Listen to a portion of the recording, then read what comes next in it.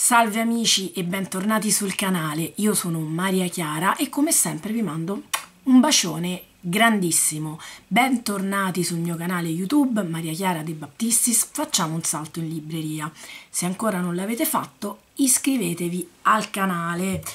Allora, prima di iniziare la nostra recensione, recensione singola, io la chiamerei, eh, un po' di aggiornamenti. Allora, intanto oggi parleremo di L'invenzione di noi due di Matteo Bussola e vi aggiorno un po' come mai faccio una recensione singola che non sono solita farle qui sul canale. Allora, oggi parliamo di questo libro perché con Monia, che saluto tantissimo, Hobbit di biblioteca, abbiamo deciso di leggerlo insieme. Quindi abbiamo dato il via a questa collaborazione e ehm, io l'ho letto in un paio di settimane, ma si legge velocemente, io ci ho messo un po' più di tempo perché l'ho alternato ad altre letture. È un libro che si legge rapidamente e abbiamo deciso quindi di fare questa collaborazione, questa lettura condivisa. Quindi oggi alle 17, oggi è martedì 30 aprile, alle 17 uscirà sia sul mio canale sia sul suo canale una recensione, una chiacchierata sui nostri punti di vista in merito a questa lettura. Quindi abbiamo letto l'invenzione di noi due. Ora inizio a raccontarvi un po' cosa ne penso. Prima di iniziare tisanina, anzi oggi tè al limone. Prima di iniziare vi invito sempre ad iscrivervi al canale, a lasciare commenti se avete letto questo libro, se conoscete Matteo Bussola, quest'autore. Io devo dire che è il terzo libro che leggo e se mi conoscete lo sapete, l'ho scoperto da poco tempo e lo sto apprezzando. Iniziamo subito quindi questa chiacchierata. Allora, di cosa parla l'invenzione di noi due? Intanto Matteo Bussola è un autore che parla di relazioni, relazioni personali. Io ho già letto Il Rosmarino, Il Rosmarino non capisce l'inverno, poi ho letto Il tempo di tornare a casa e ho letto quindi anche L'invenzione di noi due. Piccola storia su questo libro, io l'ho acquistato sul libraccio l'anno scorso e ho iniziato a leggere in un periodo per me mh, mm, poco, ve l'ho già accennata questa cosa, avevo poca voglia di leggere e quindi tra agosto e settembre è stato uno dei libri abbandonati, quindi avevo letto una quarantina di pagine e poi l'avevo abbandonato. Cosa è successo poi? Perché con Moni abbiamo deciso di leggerlo? Perché anche lei, diciamo, conosce Bussola e insieme abbiamo deciso di leggere proprio questo libro qui perché è un libro di puro intrattenimento, quindi abbiamo deciso di leggere un qualcosa di abbastanza leggero, che poi così leggero non è, abbastanza leggero. Io per più volte sono riandata con la mente a questo libro perché mi incuriosiva capire mh, mm, il matrimonio del nostro protagonista. Sì, perché è un libro che parla di matrimonio. Allora, questa è la storia di come tramutai l'amore in cenere e poi la cenere di nuovo in amore. La prima cosa fu il mio sbaglio la seconda la mia colpa. Questo è un pezzettino tratto dal libro e io voglio iniziare a parlare del libro leggendovi proprio l'incipit è una cosa che non faccio generalmente, però è bene anche dare un po' una linfa vitale nuova al canale, fare comunque qualcosa di, di diverso. Quindi leggiamo. Cominciai a scrivere a mia moglie dopo che aveva del tutto smesso di amarmi. Solo allora mi venne l'idea. È triste, tragico persino, ma torniamo a occuparci delle cose quasi sempre quando sono finite. Forse la fine è l'unica condizione in grado di smuoverci davvero. Forse è solo che per risvegliare il nostro desiderio di agire abbiamo bisogno di una distanza, la sensazione di dover recuperare un'opportunità che ci appare lontanissima, perduta, irre irrimediabile. Irrimediabile. Allora, ho voluto leggere un po' questo incipit che racchiude un po' di cosa va a parlare Bussola. Questa è una storia d'amore. È la storia della fine di un amore. Il nostro protagonista si chiama Milo, ho un po' d'appunti sui nomi perché io veramente con i nomi un disastro. Milo Allora, abbiamo questo protagonista, un uomo di 46 anni, un uomo non bellissimo, non troppo alto, non troppo magro, eh, non troppo grasso, un uomo medio si definisce, un uomo insomma mi, mi verrebbe da dire anche quasi banale, che si innamora di una donna straordinaria, di una donna bellissima. Ma come nasce questo amore? Allora lui inizia il libro narrando, parlando della fine di questo matrimonio, di questa crisi matrimoniale acuta e forte. Poi da lì va indietro nel tempo e ci racconta che quando loro avevano 18 anni, l'anno della maturità, hanno iniziato a scriversi.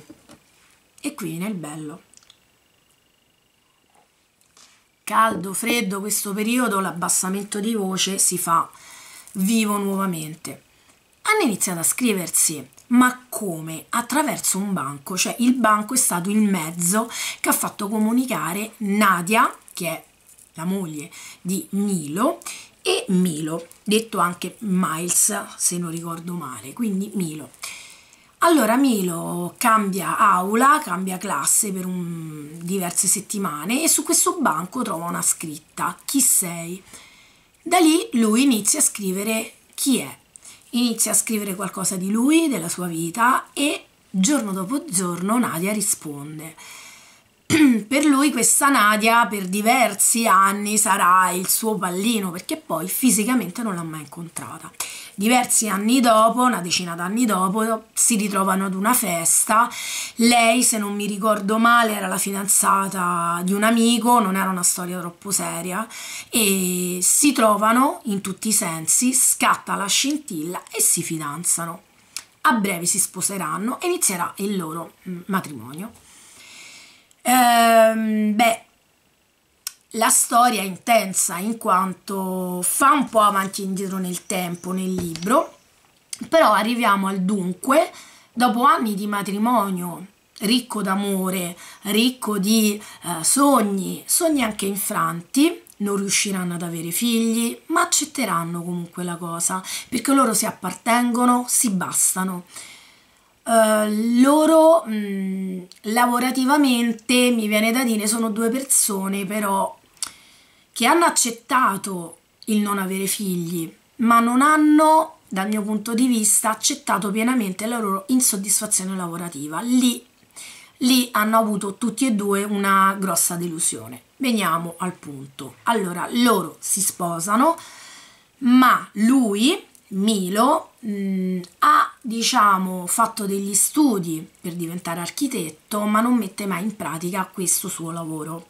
Ci sono dei capitoli dove lui va indietro nel tempo, ci parla di sua madre, di suo fratello, del fatto che da ragazzino ha perso un braccio, è stato proprio, è caduto da un albero e perde completamente il braccio sinistro tagliato in due da una falce, mi sembra che aveva lasciato sull'erba il nonno, e lui cadendo dall'albero perde questo arto, perde questo braccio. Prontamente il fratello, con un sacchetto con del ghiaccio dentro, riesce a fare il recupero dell'arto del braccio che poi con diverse poi tante operazioni, insomma, tornerà tutto ok. Quindi ci racconta anche questo aneddoto doloroso della sua infanzia. Ci racconta il rapporto con la madre, il rapporto con il padre assente. A un certo punto il padre non, non c'è più, quindi crescono da soli con la madre questi due ragazzi. Il, il, legame forte con suo fratello, completamente diverso da lui a livello proprio eh, di caratteriale. Il fratello è una persona briosa, aperta, con un matrimonio finito, con due figlie, mi sembra. Lui invece, Milo, è una persona quadrata, responsabile, senza grilli per la testa, con i piedi per terra.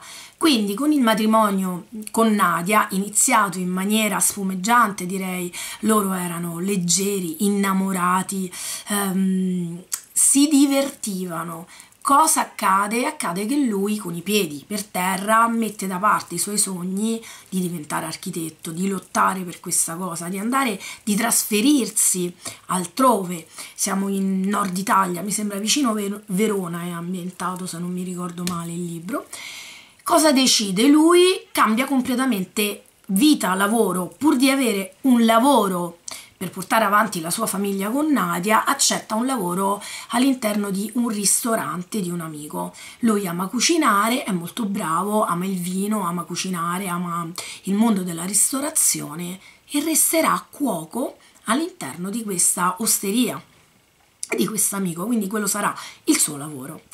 Nadia invece completamente diversa, una donna che vive secondo me uh, all'interno di una bolla che è la bolla della scrittura, completamente immersa in questo romanzo, completamente legata ad un'amica che purtroppo è malata di tumore, quindi legatissima a questa sua amica e um, completamente si dedica alla scrittura, quindi una donna che ama leggere, una donna che ama scrivere, ma anche una donna fortemente vivace, passionale, curiosa della vita.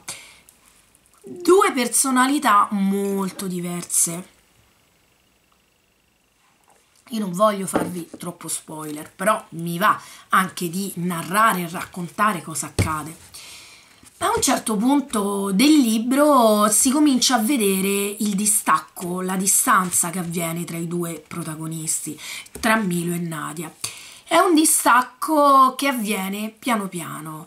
Lei resta sveglia fino a tardi ad aspettarlo quando torna da lavoro, lui torna stanco e va a riposare, lei invece è più creativa, rimane sveglia, a quell'ora le viene più da scrivere e si immerge nel suo lavoro di scrittrice, pian piano, pian piano, piccole cose quotidiane li distanziano, anche il cercare un figlio che non viene li porta all'accettazione della cosa, ma anche lì c'è comunque un po' di distacco tra i due, freddezza tra i due, un senso un po' di insoddisfazione per la cosa, però non ne fanno un problema vero e proprio.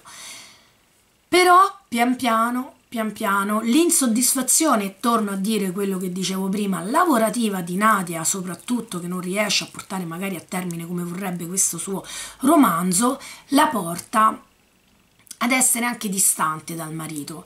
Il marito innamorato, perso di questa donna, vive per lei, vive in funzione di lei, non fa troppo per dare una scossa al matrimonio e si lascia vivere dagli eventi, cioè si, mh, mm, è un uomo passivo, diciamo che come uomo, ehm, come personaggio maschile, lo, lo vedo in molti uomini che questo accade, è un uomo che si è assestato, adagiato alla vita matrimoniale, non fa nulla per portare brio allegria, ehm, gioia, ehm, direi anche eh, sorpresa nel matrimonio. Quindi questa donna, giornate tutte uguali, ripetitive, eh, per lui è casa, sua moglie, lui è innamoratissimo, per lui il sentimento verso lei non è cambiato, a lui basta la vita che fanno, è più o meno soddisfatto. Dalla descrizione che ne fa Bussola mi sembra un uomo, non dico mediocre, ma un uomo che si accontenta, abbassa quello che ha. Invece Nadia è su un altro livello, la Nadia è una donna ambiziosa, è una donna in continua ricerca, in continuo mutamento, ha sempre voglia di sperimentare, cercare, eh, è una donna che si butta anche nelle relazioni, fa tantissimo per questa amica malata di tumore, si taglia anche completamente i capelli, se non si, non si interessa neanche del suo aspetto fisico, è una donna bellissima, ma tende sempre a camuffare questa sua bellezza perché non dà valore troppo al suo essere bella a livello estetico, ma cura molto il suo spirito, ecco, come dire, una donna che dà molto valore a appunto la cultura, la letteratura, la ricerca continua, spasmodica a volte di, del cambiamento, della crescita personale, ecco, non saprei come dire. Quindi lei è una donna che all'interno di questo matrimonio c'è stata un po' stretta, lei voleva comunque avere più successo professionale e avrebbe voluto anche dei cambiamenti nel marito. Qual è il problema nella coppia? Al mio punto di vista, il dialogo, non, non, non, hanno mai avuto un dialogo, si sono lasciati vivere dagli eventi e questa fiamma, questa scintilla iniziale è andata piano piano a calare. Cosa accade? Milo lì all'intuizione, all'intuizione di dire, beh, mh, dato che lei ama la scrittura, cerchiamo di sorprenderla, quindi si illumina perché ritorna tra i banchi di scuola, ritrova il vecchio loro banco, si illumina e inizia a mandare un'email per sbaglio. Lui si fa passare per un altro uomo, quindi da Milo si firma Antonio e inizia a scrivere della sua crisi matrimoniale scrivendo a sua moglie che non, Angela mi sembra, non mi ricordo il nome, facendo finta di aver sbagliato casella postale. Quindi cosa accade? Che Nadia inizia a ricevere la mail e la prima mail errata di questo Antonio. Da qui inizia lo scambio epistolare, lo scambio di lettere, chiamiamole lettere ma sono mail, lo scambio di queste mail tra Milo e Nadia, ma Nadia sa che è Antonio. Ora io il finale non ve lo voglio svelare, dovete leggerlo il libro perché poi altrimenti è spoiler. Inizia questo scambio di lettere dove il nostro protagonista Milo barra Antonio inizia a raccontare la sua come dire, frustrazione nel matrimonio, il suo amare tantissimo questa moglie, questa donna, che però lo ha lasciato, quindi nelle lettere Milo racconta del suo matrimonio finito, quindi Milo inventa che Antonio è separato e racconta di questa sua casa vuota, piena di scatoloni, che sua moglie lo ha lasciato. Dall'altra parte Nadia è apertissima allo scambio di mail con Antonio e anche lei inizia ad aprirsi, inizia a narrare, inizia a raccontare cosa le manca nel suo di matrimonio. Quindi che cosa abbiamo? Abbiamo eh, Milo barra Antonio che comincia a, ad assorbire e a percepire dove lui ha sbagliato nel matrimonio con la moglie. Ora io non vado troppo oltre perché poi farei spoiler, ma c'è un cambiamento, non vi dico quale, all'interno del matrimonio di Milo e Nadia dovuto proprio al dialogo che avviene in maniera falsa, se vogliamo, in maniera giocosa, ma con l'inganno, no? Da parte di Milo, perché si fa passare per questo Antonio e su chi assorbe tutte le informazioni che sua moglie dà. Ora lascio a voi sapere come va a finire poi il libro. A me è piaciuto, è stata una lettura sicuramente gradevole, leggera.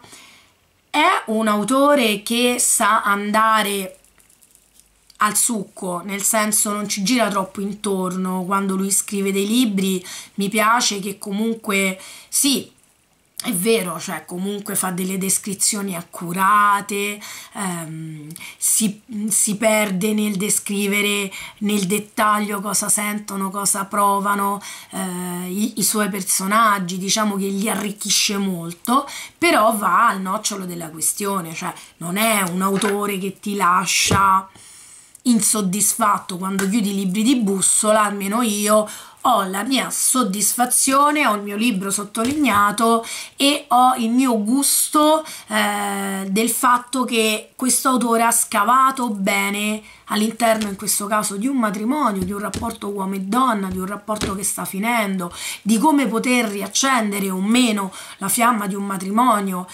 Parla del quotidiano, parla del, dei rapporti relazionali e quindi penso che è un autore che mh, può piacere a un vasto pubblico perché parla di, di, noi, parla di tutti noi e parla di relazioni che tutti noi abbiamo, convivenza, matrimonio, insomma, che tutti noi più o meno abbiamo. Quindi parla del vissuto quotidiano. Mi piace poi come scrive, eh, sa scrivere bene, sa coinvolgere il lettore, ti sa tenere incollata le pagine. Quindi è un libro che sicuramente io vi consiglio se volete appunto una lettura veloce da fare ma che poi vi lascia qualcosa. Quello che posso dire è che questi personaggi sono molto nitidi, molto realistici, eh, mi è sembrato come di conoscerli e non è ehm, la sensazione che ho avuto solo leggendo questo libro. Anche gli altri libri di Bussola sono curati. Ecco,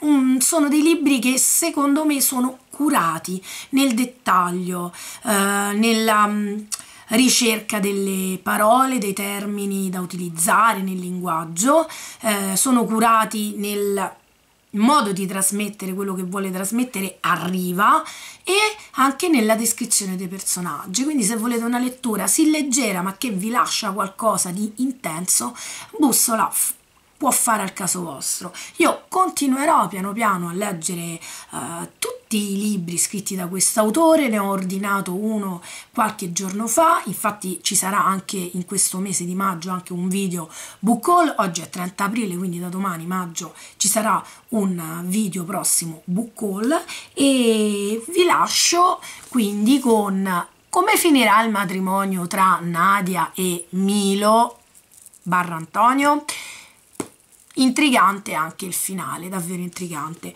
Eh, questa lettura condivisa con Monia a me è piaciuta, non vedo l'ora di andare a sentire e a vedere il suo video, quindi dopo vi lascio sotto anche il suo canale così potrete andare a vedere anche il suo video. Monia Hobbit di biblioteca.